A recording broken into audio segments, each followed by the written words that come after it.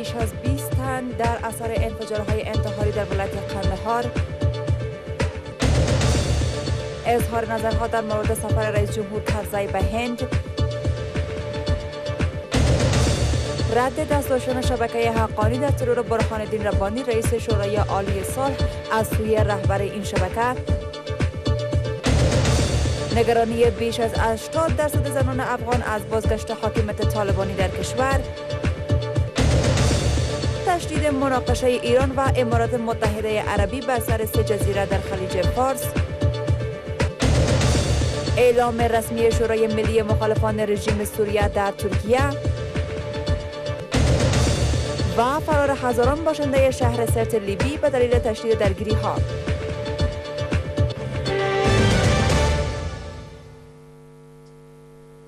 سلام به سرویس خبری این ساعت از افغان نیوز. خوش آمدید. امروز دوشنبه 11 میزان سال 1390 خورشیدی برابر است با سوم اکتبر سال 2011 میلادی.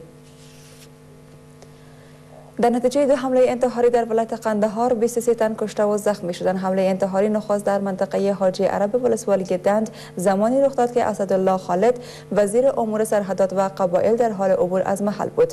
اما در این حادثه به وی آسیب نرسیده و در اثر آن دو فرد ملکی کشته و 18 تن دیگر زخمی شدند. انفجار دوم نیز در برابر قل اردوی 205 اتر در ولایت قندهار روی داد که در اثر آن یک سرباز اردوی ملی کشته و دو تن دیگر زخمی شدند. اسدالله خالد وزیر امور سرحدات و اقوام و قبایل در یک نشست خبری به رسانه ها گفت حمله انتحاری نخست با واسطه سه چرخه زرنج بر کاروان حامله وی صورت گرفت اما با او آسیبی نرسید. به گفته آقای خالد در این حمله دو فرد ملکی کشته و 18 تن دیگر زخمی شدند. که خلل باعث هیڅ کله نه ګرځي موږ تر, هغه چې یو څاڅکیونه هم په بدن کې لرو د وطن د ارامۍ د صلح د ثبات او د قرارۍ او د آبادۍ د راوستلو لپاره خپلې هڅې کوو این در حال است که مقام های امنیتی قندهار برای آغاز عملیات تجسسی در شماری از مناطق دوردستین ولایت آمادگی می گیرند. قرار است رئیس جمهور کرزی فردا در یک سفر رسمی به هندوستان برود. گفته می شود رئیس جمهور در این سفر در مورد همکاری های اقتصادی و منطقه‌ای با مقام های هندی گفتگو نماید. از سوی دیگر شماری از اعضای پلیس جرگه می‌گویند سفر رئیس جمهور در چنین مقطع زمانی که روابط کشور با پاکستان به تیرگی گراییده است از ارزش زیاده برخوردار خواهد بود.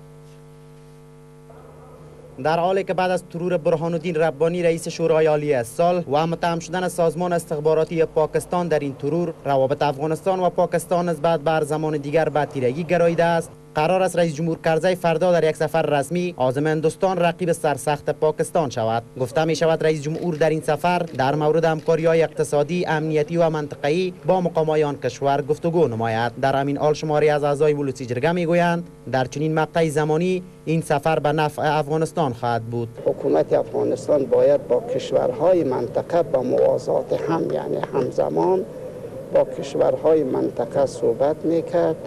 تا اگر یک پیمان امنیت منطقه‌ای به شمول کشورهای منطقه اگر منعقد می‌شد شاید در جهت آوردن ثبات در افغانستان کمک بیشتری سفر اخیر آقای رئیس جمهور به هند نشان دهنده است که دیگر امید جدی به بهبودی روابط دیپلماتیک از مجاری و رویه های گذشته با پاکستان وجود نداره. و آقای رئیس جمهور با برنامه ریزی ای سفر در واقع می‌خواهد به اسلام آباد و دیگر جوامع جهان این پیام را برسانه که به حال تلاش های او در ارتباط با برقراری روابط عادی با پاکستان ناکام بوده.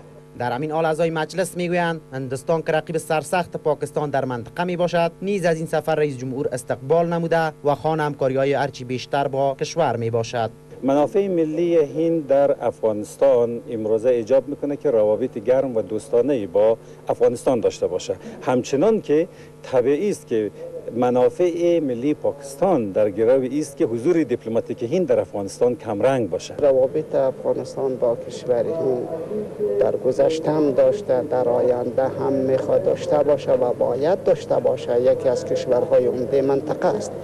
اگر حرف این است که با هند پیمان استراتژیک امضا بکنه اگر حرف چنین است ما فکر می‌کنم که خوب بود که در این باره یک مقدار تعمل بیشتر می‌شد. هرچند پیش از این نیز رئیس جمهور کرزی سفرهای چنینی را به هندوستان انجام داده است اما هر بار این سفرها با واکنش منفی و تند حکومت پاکستان مواجه شده است. زیرا حکومت پاکستان از نفوذ ان در افغانستان شدیدا در عراس است. شبکه حقانی حمله بر سفارت امریکا و ستاد فرماندهی مرکزی آیساف در کابل را میپذیرد. اما هر گونه رابطه با سازمان جاسوسی پاکستان را رد می کند سراج الدین حقانی رهبر شبکه حقانی در یک مصاحبه سری با بی بی سی همچنان مسئولیت ترور برهان الدین ربانی رئیس شورای عالی صلح را نمیپذیرد. این در حال است که مقام های افغان قاتل آقای ربانی را شهروند پاکستانی می‌دانند. سراج الدین حقانی رهبر شبکه حقانی پس از تهدید امریکا برای برچیدن بساط این شبکه در خاک پاکستان و قطع تلاش های حکومت برای گفتگو با طالبان به پرسش های بی بی سی پاسخ داده است و بی بی سی اصالت گفته های او را در یک نوار صوتی تایید می کند. ما برهان الدین ربانی را نکشته ایم و سخنگوی امارات اسلامی بارها این مسئله را بیان کرده است. اما مقام های افغان شبکه حقانی را به حمله انتحاری که به مرگ برهان الدین ربانی منجر شد مرتبط دانستند. این در حالی است که طالبان می‌گویند مایل نیستند در مورد مرگ آقای ربانی اظهار نظر کنند. رهبر شبکه حقانی مدعی است که سازمان های اطلاعاتی کشورها از جمله امریکا به او پیشنهاد کردند تا با دولت افغانستان مصالحه کند. سازمان های اطلاعاتی بسیاری از کشورهای اسلامی و غیر اسلامی از جمله امریکا با اعضای حقانی تماس می گیرند و از ما می خواهند دست از جهاد برداریم و در دولت کرزی نقش مهم بازی کنیم. ما می دانیم که هدف آنها صلح نیست. آنها می خواهند در میان مجاهدین امارت تنش ایجاد کنند. الفاظ دوی خپل ندی. الفاظ بگانه دی. دا د یو سیاسي یا استخباراتي کړۍ الفاظ چې هغه ورته وایي چې باید رقم ته وویل شي دا فقط دوی هغه هغه بدن د دوی دی هغه ژبه د دوی ده گروه حقانی و هر نیروی متاثر از سیاست های پاکستان کوشش میکنه که به طبع سیاست های پاکستان موضوع بگیرن. از این که دولت پاکستان و حکومت پاکستان انکار کردن اونا هم خود ملزم میدانند که باید انکار کنند این موضوع را حقانی همچنان می‌گوید او وفادار به ملا محمد عمر رهبر طالبان است و تمامی دستورها را از وی می‌گیرد. ملا محمد عمر رهبر ماست و ما کاملا مطیع او هستیم.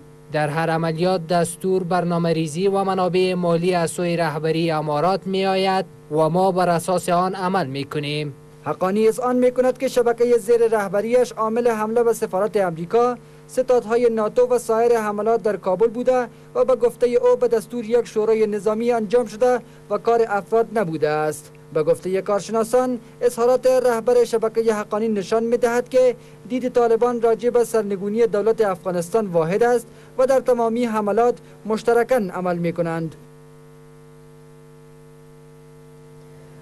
در حالی که کمیسیون تحقیق ترور رئیس شورای عالی صلح عامل قتل برهان الدین ربانی را یک شهروند پاکستانی می‌داند اما وزارت خارجه پاکستان با لحن تند اظهارات مقام های افغان در خصوص دست داشتن آی اس آی در این قضیه را بی بنیاد می در اوج این تنش ها دبیر کل ناتو می گوید تحویل دهی مسئولیت های امنیتی به نیروهای افغان در پایان سال 2014 میلادی همچنان پابرجاست. ریاست جمهوری در خبرنامه گفته است اعضای کمیسیونی که از جانب رئیس جمهور بر ریاست وزیر دفاع و عضویت وزیر داخله سرپرست ریاست عمومی امنیت ملی و لو سارنوالی به منظور تحقیق در مورد قتل برهان الدین ربانی موظف شده بودند در نشست شورای امنیت ملی نتیجه گیری کردند که عامل این ترور یک شهروند پاکستانی بوده است.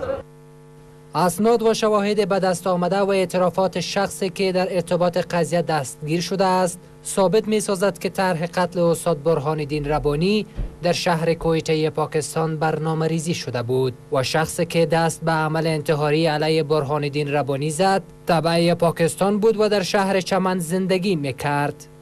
اما وزارت خارجه پاکستان در اعلامیه گفته های وزارت داخله را که سازمان جاسوسی پاکستان در قتل آقای ربانی دست داشته رد می کند و اسناد ارائه شده به سفارت پاکستان در کابل را مبتنی بر اظهارات شخص بازداشت شده می داند. وزیر داخله افغانستان نگفته است که قاتل در مهمانخانه شورای عالی صلح که توسط افغانهای نزدیک به پروفسور برهان الدین ربانی مدیریت می شد مدت چهار روز را سپری کرده بود. در میان اوجی از نگرانی ها از گسترش مداخلات پیدا و پنهان پاکستان و تشدید حملات شورشیان در کشور اندرس فوگ راسمیسن دبیر کل ناتو می‌گوید نیروهای ناتو در افغانستان برای همیشه نمیمانند و بر اساس برنامه تعیین شده تا پایان سال 2014 میلادی مسئولیت های امنیتی تمام افغانستان را به نیروهای امنیتی این کشور واگذار می کنند. او تاکید می‌ورزد که وضعیت امنیتی افغانستان روی هم رفته بهتر شده و طالبان عمیقا تحت فشار قرار دارند. این گفته ها در حال ابراز می شوند که به باور آگاهان جامعه جهانی برای قطع سیاست های خصمانه پاکستان در افغانستان تا کنون کاری نکرده است. تمام گروه های تروریستی از سوی سازمان جاسوسی پاکستان رهبری می شود و برخی کشورهای دیگر نیز با آنان همکاری دارند. مسئولان مرکزی مطالعات منطقه‌ای با اشاره به این موضوع می افزند گفتگوهای صلح با اسلام آباد مؤثریت در قبال ندارد. از سوی دیگر غلام جیلانی رئیس مرکز مشورتی و تحقیقاتی افغان می گوید هر تصمیم اتخاذ شده در برابر پاکستان باید پشتیبانی مردم افغانستان را با خود داشته باشد. مسئولان مرکز مطالعات منطقی در یک نشست خبری به خبرنگاران گفتند تمام گروه های تروریستی تحت رهبری آیس آی بوده و از حمایت کشورهای دیگر نیز بهرهمند است. آنان روابط امریکا با پاکستان را دشوار و سرنوشت ساز خوانده می افزایند حکومت افغانستان باید از این فرصت به نفع خود استفاده کند. در همین حال به گفته آنان مذاکره با پاکستان معاصرتی را در پی نخواهد داشت. اگر از اول برخورد جدی با پاکستان صورت می گرفت یعنی یعنی موقف روابط بین افغانستان خود امی برنامه استراتژی سیاست خارجی افغانستان و به خصوص سیاست منطقی و به خصوص در روابطش با کشورهای همسایه از اول جدی برهنه و شفاف می بود من فکر می کنم که دشواری آل قطعا وجود نمی داشت از سوی دیگر غلام جیلانی زواک رئیس مرکز مشورتی و تحقیقاتی افغان می‌گوید هر تصمیم اتخاذ شده در برابر پاکستان باید با مشوره علما دانشمندان و بزرگان قومی کشور هماهنگ باشد. کار داده چې افغانستان د افغان حکومت یو سرتاسري غونډه د ملي شورا په ګډون د مخاورینو د بانفوذ خلکو سیاسي ګوندونو د علماو د دې یو عمومي غونډه راوغواړي او د ټول ملت په ملاتړ یو مشترک دریز د اوسنی وضعیت په اړه مرکز مشورتی و تحقیقاتی افغان پیشنهاد می کند که حکومت افغانستان باید به گونه جدی از شورای امنیت سازمان ملل متحد بخواهد که پس از این جنگ را در خارج از مرزهای کشور ادامه دهد. نخستین گروه 900 نفری زایران افغان به هدف ادای مناسک حج امروز کابل را به قصد عربستان سعودی ترک کردند. مقام های وزارت حج و اوقاف می‌گویند این پرواز باید روز پنجشنبه هفته گذشته صورت می گرفت اما به دلیل برخی مشکلات به روز دوشنبه معطل شد. یوسف نیازی وزیر حج و اوقاف می‌گوید طی سال روان به صورت مجموعی 3000 افغان جهت ادای حج به عربستان سعودی می روند. مشکلات حل شد. و تقریبا بعد از پنج روز تأخیر در پروازها و در شروع پروسه حج الحمدلله امروز توانستیم که 900 پاسپورت ویزا شده از سفارت بگیریم و پروسه به خیر آغاز شود. سر اولش ما تبصره نمی کنیم. هرچی که بود الحمدلله فعلا حل شد. زنان افغان نگران از دست رفتن دستاوردهای سالهای اخیر در صورت مصالحه با طالبانند. آکسفام و آکشن آید دو مؤسسه امدادرسانی جهانی با نشر گزارشی نسبت به وضعیت زنان در افغانستان ابراز نگرانی کرده و می‌گویند با انجام گفتگوهای صلح با مخالفان مسلح حقوق زنان در معرض خطر جدی قرار خواهد گرفت. به اساس این گزارش 80 درصد زنان افغان نگران بازگشت طالبان به قدرت هستند. نهادهای آکسفام و ActionAid که در بخش خیریه و حقوق بشر فعالیت دارند با نشر گزارش می‌گویند در حالی که نیروهای بین المللی برای خروج از افغانستان آمادگی می‌گیرند و حکومت افغانستان برای مصالحه با مخالفان تلاش دارد. حقوق زنان در افغانستان در معرض خطر قرار دارد. آکسفام در گزارش خود به نقل از فعالان زن افغان مینگارد. آنان در صورت گفتگوهای صلح با مخالفان نگران از دست رفتن دستاوردهای اندک سالهای اخیر اند. زنان در افغانستان معمولا قربانی خشونت می شوند و قانون مهمی که ازدواج اجباری و قتل های دفاع از ناموس را جرم و جنایت می پندارد تنها در دو ولایت افغانستان و آن هم به صورت اندک تطبیق می شود خودسوزی زنان هنوز هم وجود دارد و در حدود 87 درصد زنان از خشونت فیزیکی، جنسی یا روانی و ازدواج های اجباری رنج می برند. طالبان بر مکاتب دختران همچنان حمله می کنند و گشت و گذار زنان را در مناطق زیر نفوذ خود محدود ساختند. در حالی که قرار است همه 140 هزار نیروی ائتلاف در دو سال آینده از افغانستان خارج شوند و امنیت کشور را به نیروهای افغان بسپارند آکسفام خروج این نیروها را از کشور خطر جدی برای حقوق زنان می‌داند و دولت به رهبری کرزی را نیز متهم می کند که گویا آماده از حقوق زنان را قربانی مصالحه با طالبان کند. این در حالی است که دولت افغانستان به دنبال کشته شدن برهان الدین ربانی رئیس شورای عالی صلح همه تماس و گفتگوهای صلح با طالبان را متوقف ساخته است سمین بارکزای عضو پیشینی ولس جرگه که در اثر تنش‌های انتخاباتی عضویتش در مجلس از سوی کمیسیون انتخابات سلب شده است در دومین روز اعتصاب غذایی خود می‌گوید تا زمانی که حکومت به خواسته هایش توجه نکنند دست از این کار نخواهد کشید و حاضر است تا جانش را در این راه از دست دهد در همین حال ائتلاف حمایت از قانون از موقف خانم بارکزای دفاع می‌کند بعد از آنکه کمیسیون انتخابات در اثر تنش‌های انتخابات پارلمانی نو عضو مجلس را سلب صلاحیت و نو تن دیگر را جایگزین آنان نمود در تازه ترین واکنش سیمین بارکزه یک از شده ولسی جرگه دست به اعتصاب غذایی زده است. وی می‌گوید در حالی که حکومت پست های بلندی را به وی پیشنهاد کرده اما به خاطر دفاع از قانون دست به اعتصاب زده است و هرگز از موقفش عقب نشینی نخواهد کرد. من اگر دنبال چوکی بودم همه شما خبر داریم. بهترین چوکی برای همین نه نفر به خصوص برای من پیشنهاد شد. مگر اینجا یک اصول شکسته شد یک قانون زیر پا شد. روزی که من به عنوان وکیل به پارلمان راه یافتم و سوگند خوردم که از قانون اساسی دفاع کنم حمایت کنم از بیعدالتی را نمانم که اجازه ندم پای گذار بشه و در حالی که همیشه در افغانستان وجود داره. اما متاسفانه هنوز به خواسته خونه رسیدم و من تا لحظه ای که نفس دارم این حرکت ادامه میدم تا به خواسته خود در همین حال ائتلاف پارلمانی حمایت از قانون که در اعتراض به حذف نو عضو مجلس از سوی کمیسیون انتخابات جلسات ولسی جرگه را تحریم کرده می‌گوید در حالی که با کوشش فراوان نتوانستند مانع این کار سیمین بارکزی شوند اما اکنون از موقف وی دفاع می نمایند از روز نخستی که کودتا صورت گرفت و نو نفر از وکلای منتخب را از پارلمان اخراج کردند سیمین بارگزه تصمیم های خطرناک داشت اعتصاب غذایی و خودسوزی و امثال اینها. اما در اثر تأکید و پافشاری اعتلاف حمایت از قانون به دلیل نگرانی از جان این خانم اونا تا یه لحظه خودداری کرده بودند اما سرانجام دیروز طوری که شما دیدیم تصمیم خود گرفتن و تلاش های ما هم به جای نرسید بر این که او اعتصاب نکنه چون ما واقعا نگران جانشان هستیم. حال که ایشان تصمیم گرفته است اعتلاف حمایت از قانون هم حمایت خود از ایشان اعلام می‌کنه با این ام ائتلاف پارلمانی حمایت از قانون می‌گوید در آینده نزدیک موقف خود مبنی بر اشتراک در جلسات ولوسی جرگه را اعلام می نماید دیروز هم طوری که در جریان بودیم 34 نفر از رؤسای شوراهای ولایتی افغانستان آمده بود بحث اونایی بود که ما از شما و از موقف بر حق شما حمایت می‌کنیم اما تقاضای ما است که شما مبارزه تان را در درون پارلمان انجام بدیم ممکن است ما به زودترین فرصت موضع خود تا یک پرس کنفرانس اعلام بکنیم.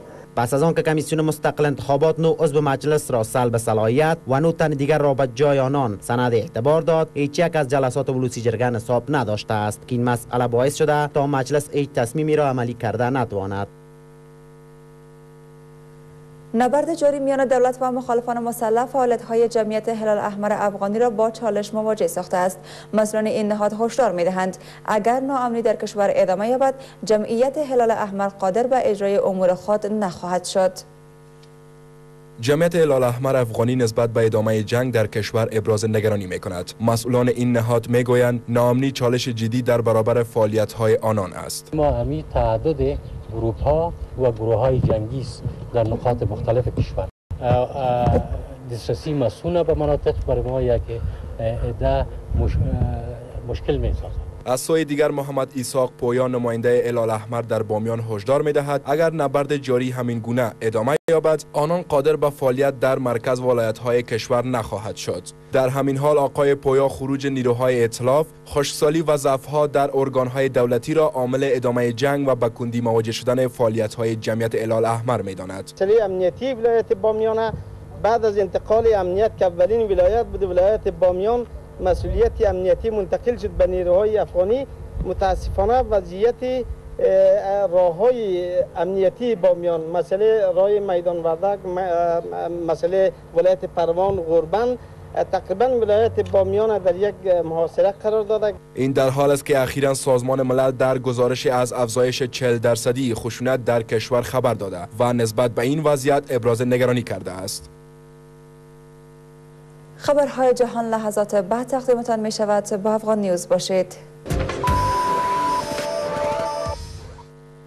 خبرهای خارجی را از افغان نیوز دنبال می کنید. مقام های ایرانی تلاش های امارات متحده عرب برای به دست آوردن سه جزیره خلیج فارس را ناقص خوانده و گفتند این جزایر ملکیت ایران است و تا ابد باقی خواهد ماند. اما امارات متحده عرب ادعا دارد که این جزایر از سوی ایران اشغال شده است و خواهان حل فصل مستقیم و یا غیر مستقیم این مناقشه شده است. ایران روز شنبه ادعای ملکیت امارات متحده عربی بر سر جزایر ابو موسا، تنب بزرگ و تنب کوچک خلیج فارس را محکوم کرده و گفته است کشورهای قدرتمند خارجی امارات را به این کار تشویق نموده است. کازم جلالی سخنگوی کمیته امنیت ملی و سیاست خارجی مجلس ایران می‌گوید این مسئله ای است که از سوی وزیران خارجه کشورهای قدرتمند جهان که همیشه می‌خواهند خاور میانه در یک بحران جنگی قرار داشته باشد طرح شده است. موضوعگیری ایران به تعقیب سخنان شیخ عبدالله زاید النهیان وزیر خارجه امارات متحده عربی در مجمع عمومی سازمان ملل در هفته گذشته اعلام می شود که از ایران خواسته بود تا برای حل و فصل مناقشه اشغال نامشروع جزایر یاد شده یا آماده گفتگوهای مستقیم شود و یا هم از طریق محکمه بین المللی عدلی سازمان ملل به پیش رود. اقدامات جمهوری اسلامی ایران با هدف تغییر وضعیت حقوقی، فیزیکی و جمعیتی این جزایر پوچ باطل و هیچ اثر قانونی ندارد. از سوی دیگر تیودور کراسیک مدیر تحقیق و توسعه در مؤسسه خاور نزدیک و تحلیلگر نظامی خلیج فارس می‌گوید سخنان آقای شیخ عبدالله در مجمع عمومی سازمان ملل تلاش برای افشا کردن این اجندا در سرخط رسانه های بین المللی بود این یک مثال از سوی امارات متحده عرب است که می‌خواهد توجه کشورها را بر سر این جزایر معطوف دارد که به نظر آن تحت اشغال قرار دارند. فکر می کنم ما در حال ورود فصل بعدی تلاش امارات متحده عرب برای به دست آوردن قانونی این جزایر هستیم و همین دلیل آنها می‌خواهند موضوع کم کهنه شده را دوباره به مطبوعات تازه سازند. ایران یک شریک مهم تجاری امارات متحده عرب است که سالانه ده بیلیون دلار حجم تجارتی میان دو طرف تخمین شده است. اما روابط بین دو کشور در پی اعمال تحریم های تازه سازمان ملل متحد در سال گذشته که به هدف وادار ساختن ایران به محدود کردن برنامه هسته‌ایش صورت گرفت ضعیف شده است.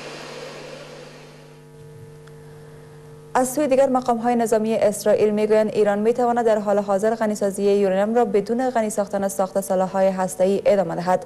نظرسنجی های عمومی نشان می‌دهد که ایران به سرعت به سوی ساختن سلاح های اتمی پیش می رود بر اساس خبر دیگر وزارت خارجه امریکا با نشر بیانیه اعلام کرده است با وجود تعهدات مقام های بلندپایه ایران برای تطبیق حقوق بشر باز هم حقوق بشر در این کشور نقض می شود همان گونه که ایران همچنان به توسعه سلاحهای هسته‌ای ادامه می دهد، نگرانی های اسرائیل از سیاست ابهام آمیز برنامه هسته‌ای ایران بیشتر می شود. دولت اسرائیل می گوید سیاست ایران مشابه به سیاست برنامه هسته‌ای سال 19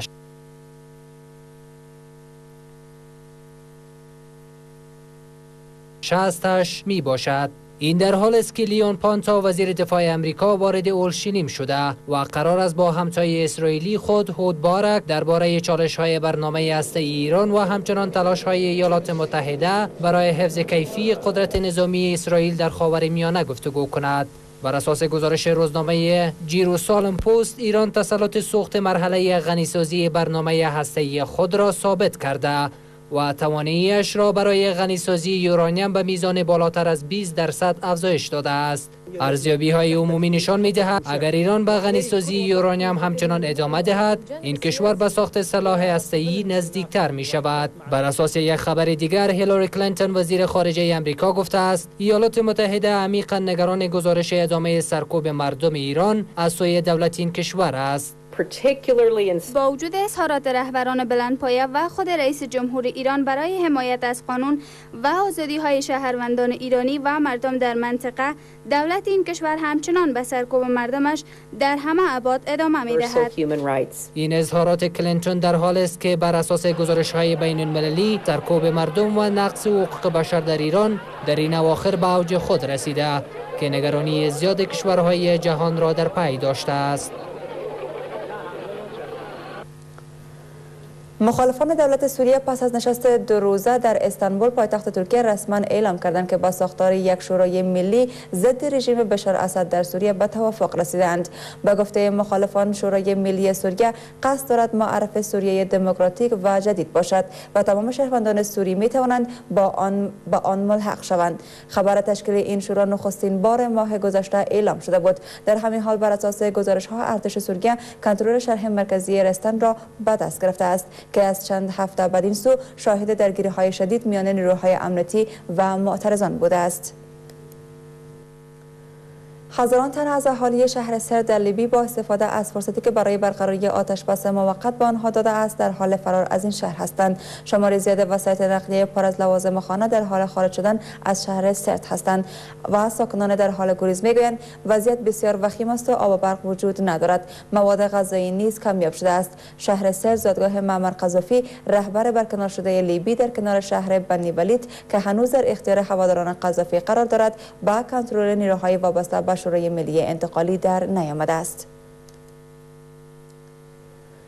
رئیس شورای نظامی حاکم بر مصر می‌گوید در محکمه شهادت داده است که حسنی مبارک رئیس جمهور برکنار شده این کشور هرگز از ارتش نخواسته بود که بعد از ظهور کنندگان تیراندازی کند. حسین تنتاوی این سخنان را در مراسم افتتاح مجموعه پتروشیمی در جنوب قاهره عنوان کرد. او هفته گذشته در محکمه مبارک پشت درهای بسته برگزار شد. حاضر شده بود. حسین تنتاوی سالهای زیادی وزیر دفاع حسنی مبارک بود. برنامه خبری ما در همینجا به پایان رسید جهان سپاس از توجه و همراهی شما. شب خوشی داشته باشید. خدا نگهدارتان.